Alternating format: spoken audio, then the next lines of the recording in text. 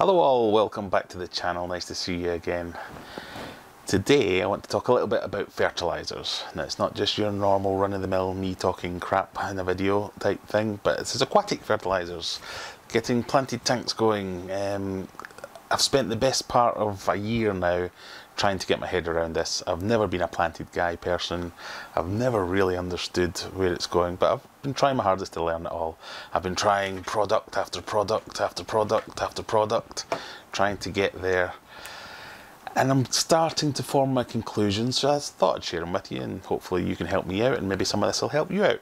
Where to start? I guess it's probably easiest to start talking about my motives obviously everyone wants lovely planted tanks with good healthy lush growth and everything doing really well. Um, so we'll, we'll use that as a baseline. Everybody wants that. I wasn't too concerned about how quickly everything would grow. I just wanted everything to look good. I also wanted it to be easy. I didn't want to have to spend my life doing mathematical calculations and getting syringes out and doing all kinds of stuff like this just to get the, the dosage right. I didn't want it to be expensive because who wants to spend an absolute fortune um, just looking after their, their plants? Uh, and obviously I wanted it to work. So I was looking for an all-in-one because that seemed to be the, the sensible place to start. So I'm thinking that the the all-in-one's the way to go because then I don't have to mess around with individual um, syringes getting so much of one and another and it just gets too much to you. I want something where once a week or even if it has to be daily, it has to be daily. I can just come along, dod a little bit in a tank, away we go, everything's happy. I'm starting to find that I might be there now. And the reason I think this is so hard for everyone is because you, you design an all-in-one fertilizer, but no one's got an all-in-one tank. So one tank might be heavily planted but lowly stocked. The next one might have low stock but no plants either or anything in between. They might have differences in hardness, uh, acidity, light levels, all kinds of these things which all have a bearing on what a fertilizer will do.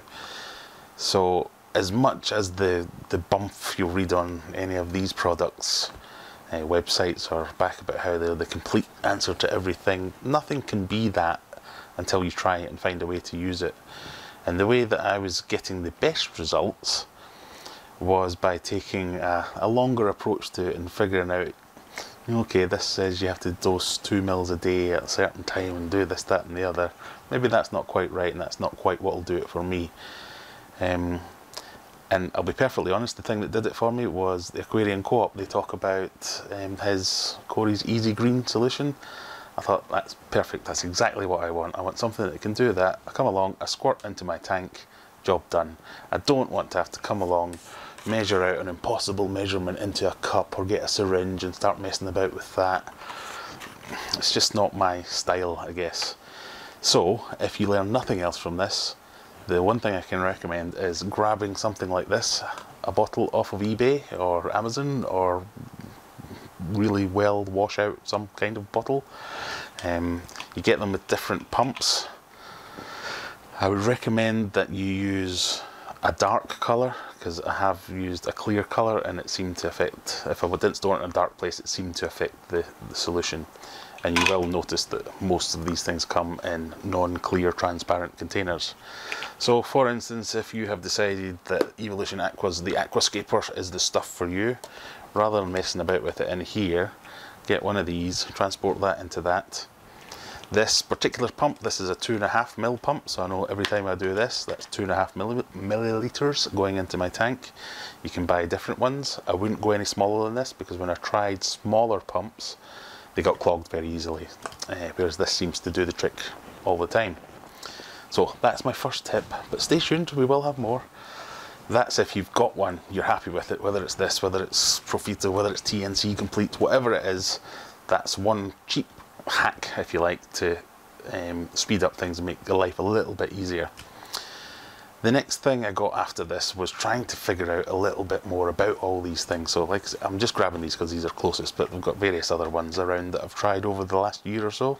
The majority of your complete foods aren't complete foods because they all miss something or they all have something extra that the other one doesn't have. For instance, these two. This one, very little, if any, nitrates or nitrogenous stuff in it. This one, loads. Um, so you think these are both marketed as complete foods. And what else would you need? Normally they will leave out things like iron or phosphates or things because these are things that you need trace elements for. And if you were to put them in a complete food, I guess they, that might dose too much of something at one time, possibly, or it's just the case that you don't always need those extra bits, so you don't always need to dose iron and you don't need to dose it as often as you might need to dose potassium or manganese or any of the other ones. Um, so quite often you'll see products like this that will be sold with something separate, a, a potassium product or an iron product. So my second tip is this thing here, which I'm hoping that in post-production I can go away and grab an image here which shows you it. But it's learning to read the plant deficiencies, uh, learning that um, new leaves being yellower than the old ones means you've got an iron deficiency.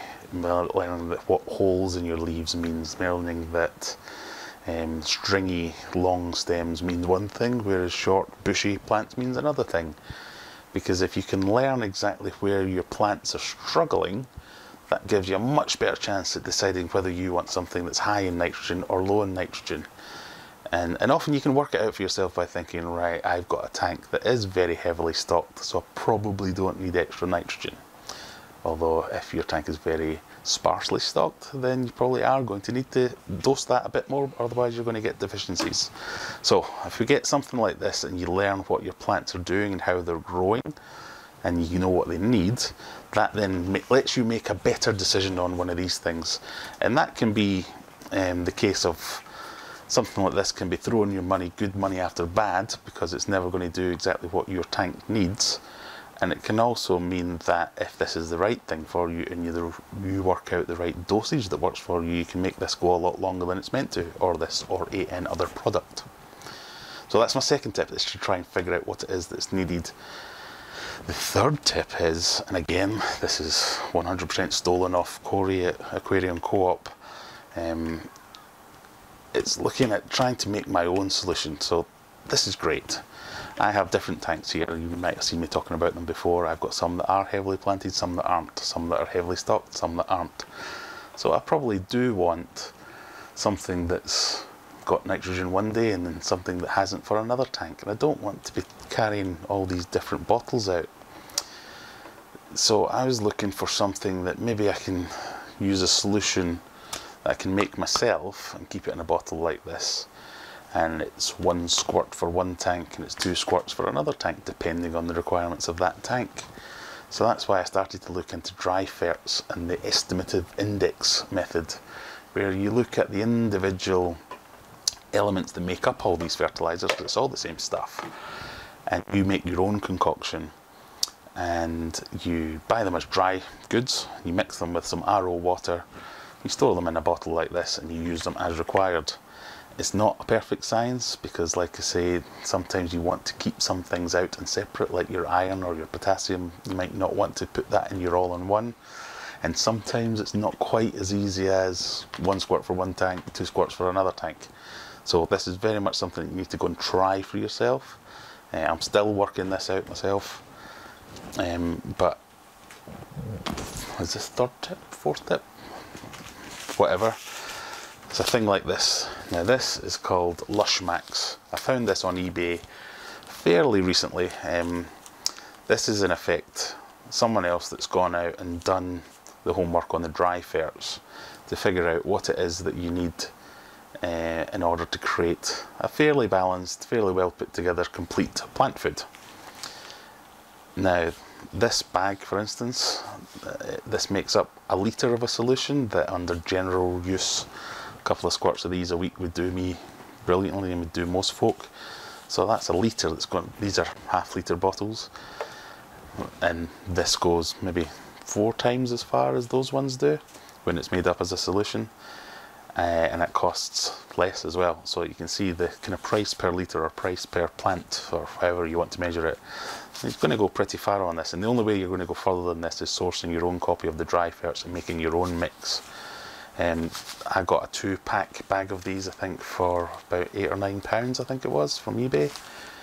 Um, I've used the other one. This one, um, I just this is the one I've not quite got round to using yet. It's great. I'm getting great results from it. Um, it also seems to fit in with the way that I want to do things, which is try and get as close as possible to me knowing a tank requires two or three pumps, one pump, three pumps, rather than it's by water volume or whatever it is, because it is a complete food. It does have most trace elements put in there, and I know that the only things I might have deficiencies for, I can then go and dose monthly or weekly if it needs it, or whatever it may be. So I haven't got any of the dry ferts on me because they're all downstairs, but I'll show you them in a minute. Um, but they're an even cheaper way to make this. And this stuff here, when you look at this in comparison to uh, the likes of Aquarium Co-op's Easy Green, it's almost chemically identical. The, the percentages of the various trace and macro and micronutrients that make up this kind of thing are the same that they print on the back of their bottle. So I'm sure it's a bit more nuanced than that, but that is a great way to get a great product that you can tailor for the way that you use it. Uh, and this stuff, I mean, I'm so impressed with this. I'm, I'm now showing you an empty bottle because it's all downstairs, but you don't need to see the bottle to know that it works. Uh, it just makes it so much easier keeping this down in the fish room. Pump, pump, pump, pump, go around the tanks that require it, double pump in the ones that do uh, need a bit more and I seem to be getting good enough results. I've, I've used other tanks to go as far as possible the other way to see what goes wrong when you overdose things, or hence this one being a bit algae mental at the moment. Um, so I've still got a long way to go before I can sit in front of the camera and tell you all that I'm now an expert in this and this is definitely the way to go and this is something that you should do and I'm going to start selling this with branded aquarium adventure bottles. Um, so I just thought I'd share with you some of the tips that I've learned on the way here. Hopefully you'll be able to save a few pennies and you might get a little bit better growth out of your plants. But the real reason is I want you to help me. I want you to let me know in the comments what kind of things should I be testing next? What have I not considered? I've kind of gone through all the, the kind of brand names um, of uh, fertilizers that you can get on the market and I've tried all of them. I've started dabbling in the EI world of the dry ferts. I'm not interested in going the whole way down that road. I'm more interested in creating my own version of this and getting something that I'm happy with. And I think I've actually got it. Um, but what else could I be doing? What, what am I missing? What am I not considering? What am I not thinking about? Um, let me know in the comments what you think to some of those things. And as always, if any of this is useful, let me know if that's useful as well. Um, this thing, brilliant. I don't know why nobody's thought of this other than Corey from Aquarium Advent. Oh, Corey from Aquarium Co-op, because as far as I'm concerned, all mass-produced fertilizers should come with this pump system. Um, I've been using this one in particular for a couple of months. Um, no clogs, no problems, no jams. Uses it right down to the bottom. It doesn't go funny, doesn't start to smell. The material's good and sturdy yeah, great stuff. But let me know what you think. Is any of this any use to you? And even if it isn't, give me a subscribe anyway. We're almost at 5,000 subscribers. I kind of want to get over that hump uh, as soon as I can. Um, but as always, thank you for watching. Hope it's been of some use to you, and I'll catch you next time.